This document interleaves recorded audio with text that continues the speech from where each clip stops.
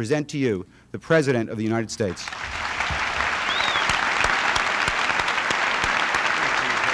Thank you. Only my grandfather were allowed to see this today.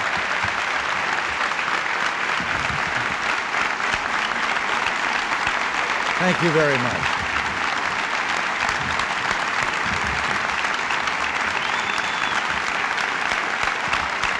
Thank you.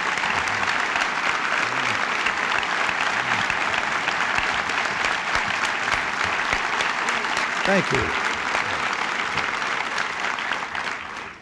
Thank you very much. I'm delighted to be here, and special greetings to Stephen Greenberg of the Young Leadership Cabinet, Mickey Barron of the Young Women's Leadership Cabinet.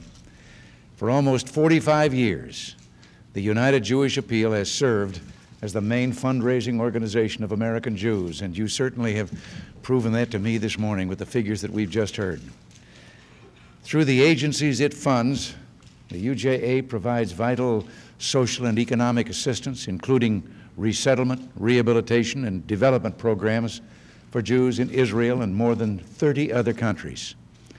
And through its young leadership, cabinet, and the UJA, it trains the hundreds of young men and women for service positions of responsibility around the world. In recognition of your historic task and your great humanitarian achievements, I certainly commend you. In your lives, you must overcome great challenges. I know you draw strength and inspiration from the well of a rich spiritual heritage, from the fundamental values of faith, family, work, neighborhood, and peace. Two centuries ago, those values led Americans to build democratic institutions and begin their Constitution with those courageous and historic words, We the people. And today, our democratic institutions and ideals unite all Americans, regardless of color or creed. Yet, as we enjoy the freedom that America offers, we must remember that millions on earth are denied a voice in government and must struggle for their rights. They live under brutal dictatorships or communist regimes that systematically suppress human rights. Under communism, Jews in particular suffer cruel persecution. Here in our own hemisphere, the communist Sandinista regime in Nicaragua has used threats and harassment to force virtually every Nicaraguan Jew to flee his country.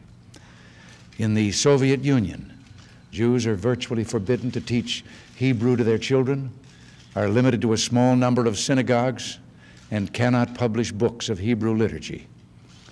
Emigration of Jews from the Soviet Union has been brought to a near standstill. Prominent Jews like Iosif Begun have been arraigned in mock trials and given harsh sentences. Hebrew scholars like Lev Furman have seen their teaching materials robbed and their homes ransacked. And Jewish dissidents like Anatoly Sharansky have been put in mental wards or thrown in jail. We must support Soviet Jews in their struggle for basic rights.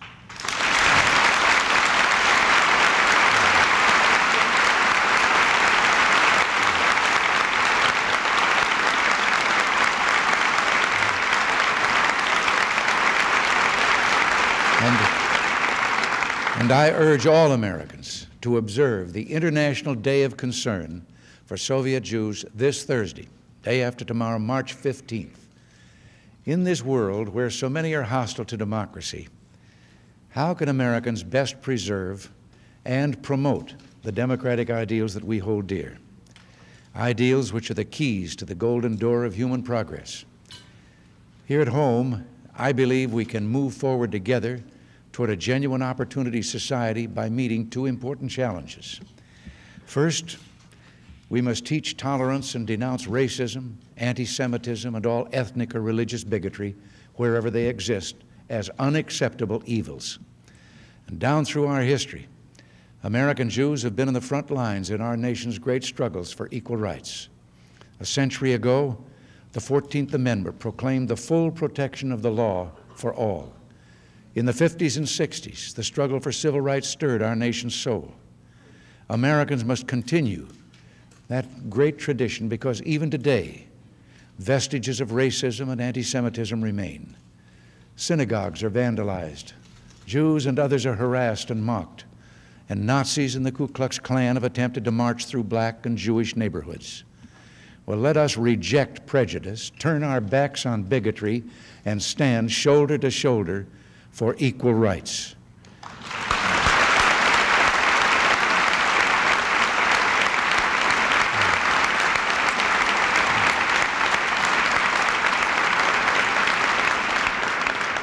Our second challenge is to promote economic growth.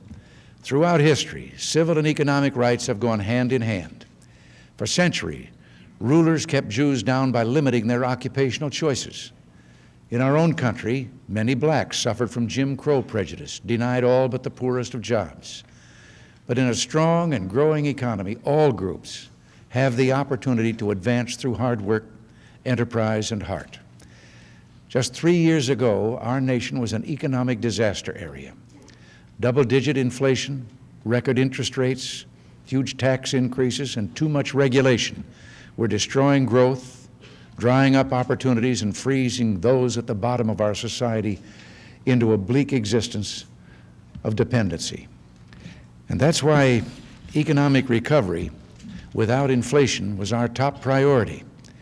We cut taxes, reduced the growth of the federal budget, eliminated useless regulations, and passed an historic reform called tax indexing. Indexing means government can never again profit from inflation at your expense.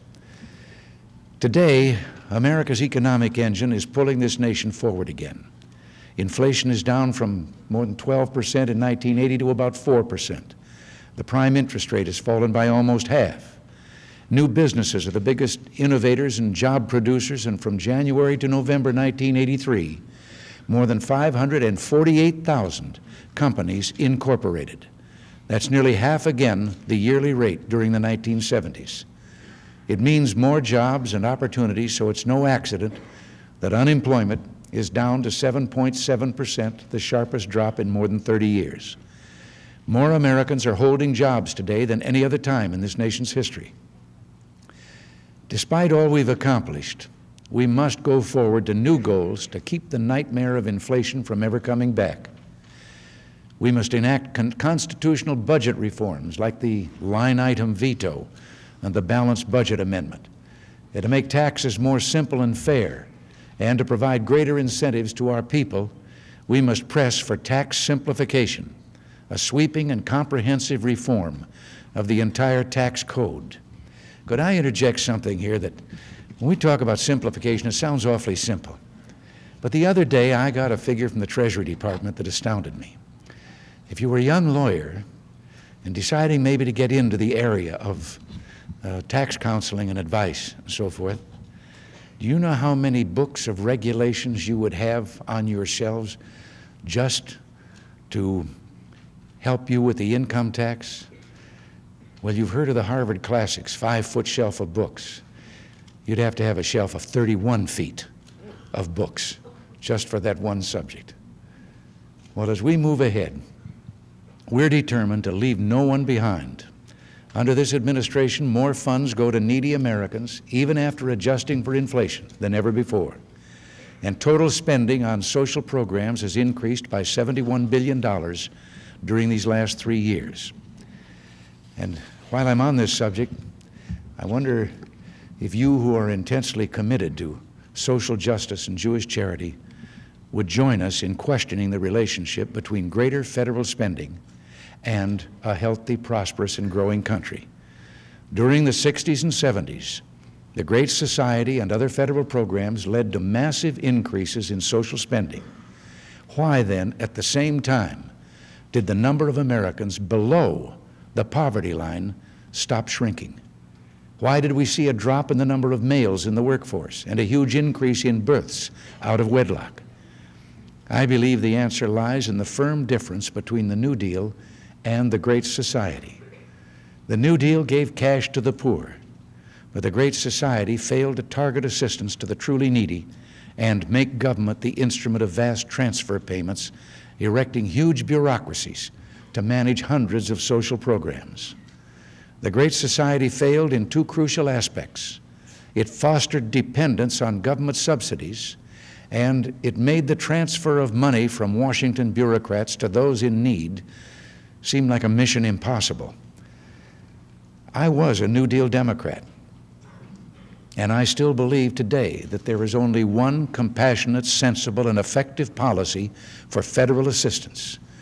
We must focus domestic spending on the poor and bypass the bureaucracies by giving assistance directly to those who need it.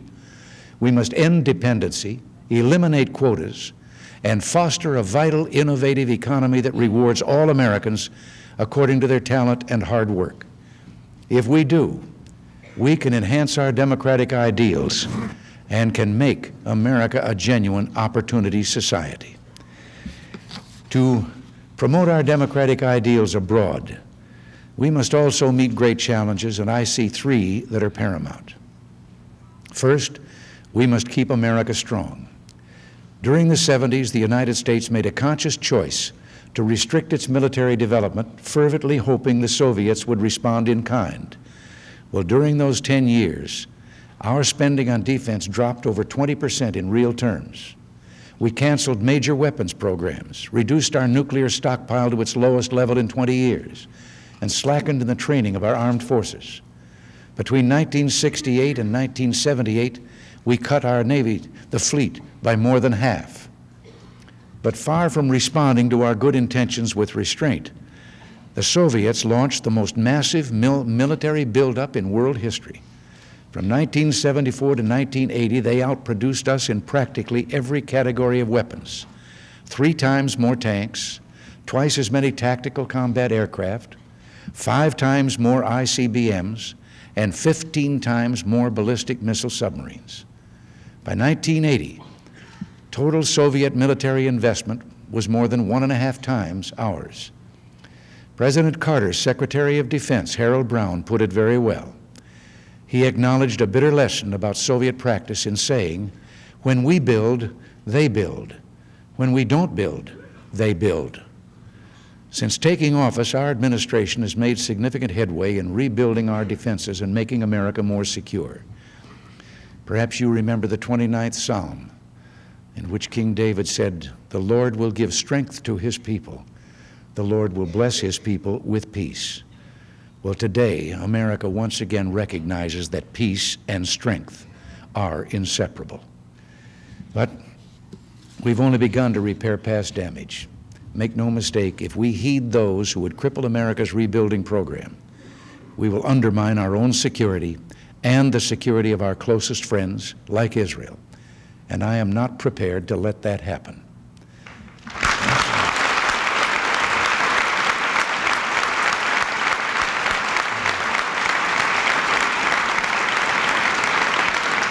After, after two decades of military expansion by the Soviet Union, and a decade of neglect by the United States, we're struggling not to regain the superiority we once enjoyed, but simply to restore the military equivalence we need to keep the peace. A second great challenge is to defend and promote human rights throughout the world. Alexander Herzen, the great Russian writer, warned to shrink from saying a word in defense of the oppressed is as bad as any crime. Well, we who are blessed by the fruits of liberty have a personal responsibility and a moral obligation to speak out in defense of our brothers and sisters. We must not and we will not remain silenced. Our administration has repeatedly and vigorously protested the persecution of Jews and others in the Soviet Union and other communist nations. We're also using our influence to, with countries that receive American assistance to give human rights firm support. In El Salvador, we're insisting that the leaders take steps to end human rights abuse. And although El Salvador is far from perfect, we've seen marked progress. We in the, in the United Nations, Iran's representative once called Israel, quote, a cancerous growth. And Libya's representative has referred to the people of Israel as, quote, the most vile people upon earth. Well, this so called anti Zionism is just another mask for vicious anti Semitism, and that's something the United States will not tolerate.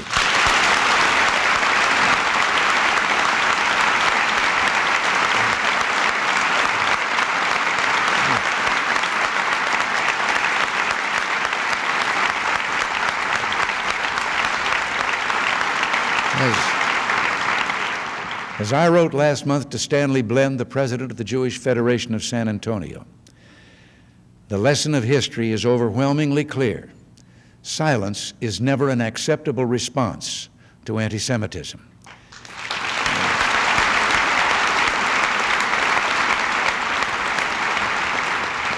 UN Ambassador Jeane Kirkpatrick is our leader on this, and let me assure you of one thing about Jeane She is a very tenacious woman.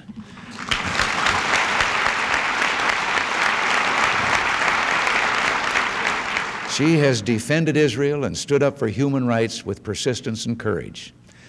But just so no one gets any ideas, I will be blunt.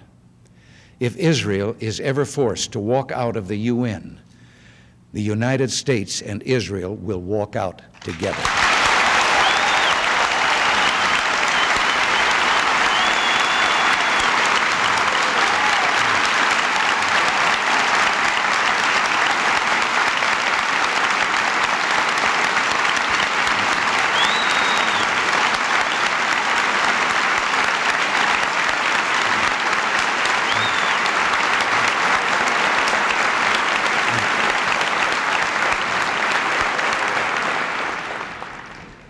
Standing steadfast with our allies in support of greater economic growth and of peace with freedom is our third great challenge.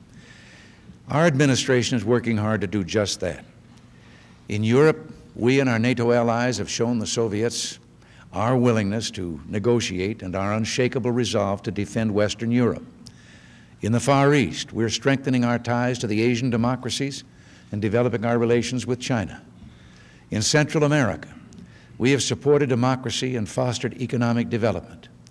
And in the Middle East, we have strengthened our relations with a nation close to your heart and mine, the State of Israel. Now, let me take a moment to describe our relations with Israel and our efforts in the Middle East. Israel and the United States are bound together by the ties of friendship, shared ideals, and mutual interests. We're allies in the defense of freedom in the Middle East. The United States was the first nation to recognize the State of Israel. And ever since, our support for Israel has remained unflinching. Today, when even our NATO allies vote with us in the United States, only some six out of ten votes, the alliance between the United States and Israel is so strong that we vote together more than nine times out of ten.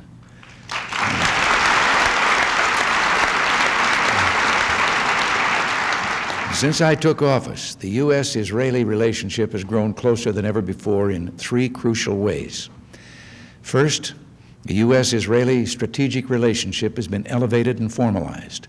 This is the first time in Israel's history that a formal strategic relationship has existed. The new, the new American Israeli Joint Political Military Group is working to decide how the U.S. and Israel can counter the threat that growing Soviet involvement in the Middle East poses to our mutual interests. Our cooperation adds to deterrence and improves and protect or the prospects for peace and security. The negotiations have been positive and they're moving forward. Second, we're negotiating to establish a free trade area between the United States and Israel.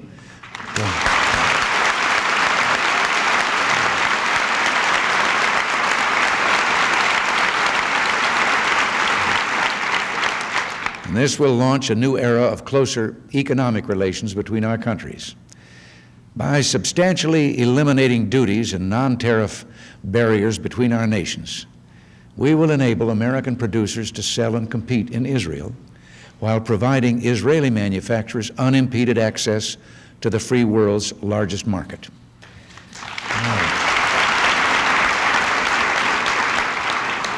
Now, third, the United States will soon be giving Israel military aid on a grant, not a loan basis.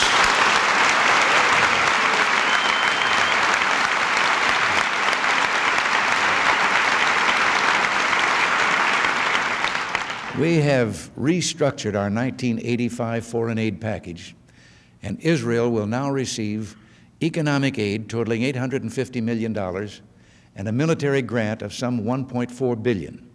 And this, uh, this will ensure that Israel maintains its qualitative military edge. All,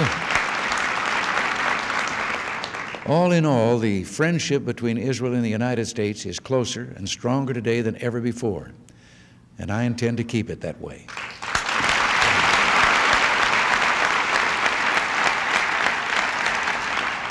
In the Middle East as a whole, the United States has three aims. First, we must deter the Soviet threat. As the crossroad between three continents and the source of oil for much of the industrialized world, the Middle East is of enormous strategic importance. Were the Soviets to control the region, and they have expanded their influence there in a number of ways, notably by stationing 7,000 troops and advisors in Syria, the entire world would be vulnerable to economic blackmail. Their brutal war against the Afghan people continues with increasing ferocity. We must not allow them to dominate the region. Second, we must prevent a widening of the conflict in the Persian Gulf, which could threaten the sea lanes carrying much of the free world's oil. It could also damage the infrastructure that pumps the oil out of the ground, and we must not permit this to happen. Third, we seek to go on promoting peace between Israel and her Arab neighbors. In response to the growth of Syrian power and the rise of the Iranian threat, we must help to protect moderate Arabs who seek peace from the radical pressures that have done such harm in Lebanon.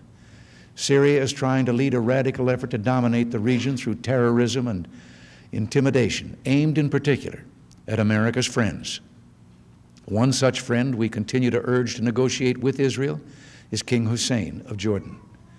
Today, Jordan is crucial to the peace process. And for that very reason, Jordan, like Israel, is confronted by Syria and faces military threats and terrorist attacks.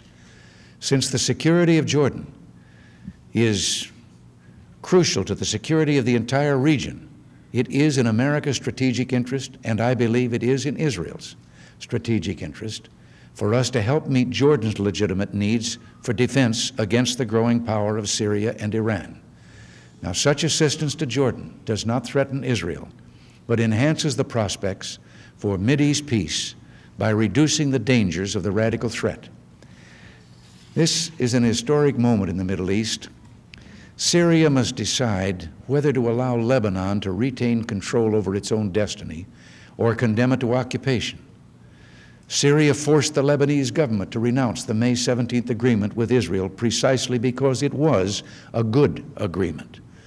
Now, those who have chosen this course will have to find other ways to secure the withdrawal of Israeli forces.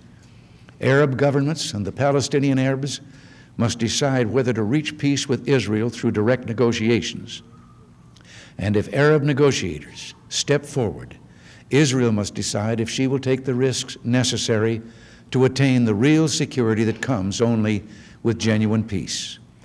I have no doubt that given that choice, Israelis will once again have the courage to choose peace. I'm, I'm convinced that the initiative that I presented on September 1st, 1982, remains the best option for all the parties. It is squarely based on the Camp David framework and UN Security Council Resolution 242. It is time for the Arab world to negotiate directly with Israel and to recognize Israel's right to exist.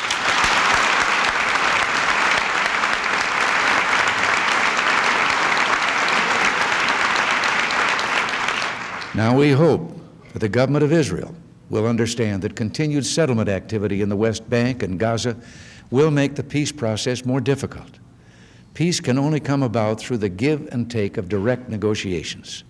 These negotiations will deal with many issues, including the status of Jerusalem, voting rights, land use, and security. If there's to be any hope for these negotiations, however, we must preserve our credibility as a fair minded broker seeking a comprehensive solution. Only the United States can advance this process and we must not undermine our role. And permit me to reaffirm a long-standing American commitment.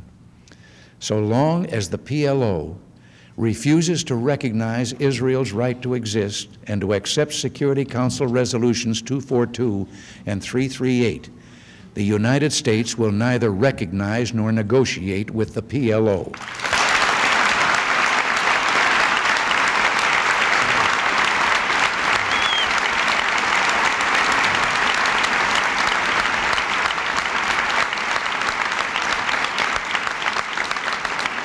Only two weeks ago, terrorists planted hand grenades outside a store on a crowded street in Jerusalem. When they exploded, 21 shoppers and passersby were injured, some seriously. Yasser Arafat, on behalf of the PLO, praised the attack on innocent civilians. He had the gall to call it a military operation. But terrorism, whether by government or individuals, is repulsive, and peaceful coexistence can never come from indiscriminate violence.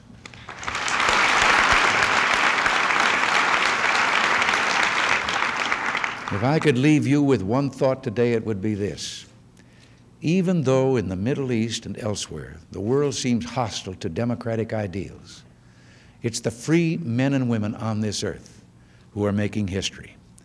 Here in the United States, we've only seen the beginning of what a free and a brave people can do.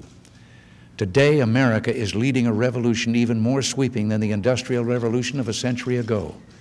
It's a revolution ranging from tiny microchips to voyages into the vast dark spaces of space, from home computers that can put the great music, film, and literature at a family's fingertips to new medical breakthroughs that can add years to our lives, even helping the lame to walk and the blind to see. In Israel, free men and women are every day demonstrating the power of courage and faith. Back in 1948, when Israel was founded, Pundits claimed the new country could never survive. Well, today, no one questions that Israel is a land of stability and democracy in a region of tyranny and unrest. So this Sunday, as Jews the world over observe Purim, they'll certainly or celebrate not only the ancient deliverance of Jews from the wicked, but a modern joy as well, the miracle of the state of Israel.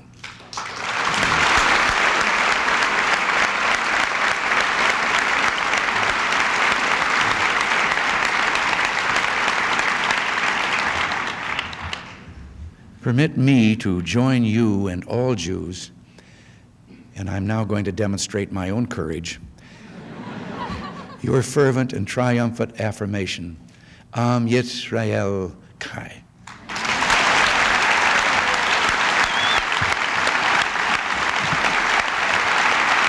Thank you. Thank you, and God bless you.